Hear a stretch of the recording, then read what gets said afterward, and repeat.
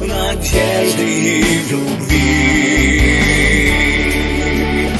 Любите, люди Бога, не надо нам и много, лишь счастья от Его, отеческой любви, детей своих упавших, или во грехах пропавших Бог любящий давно уже простил.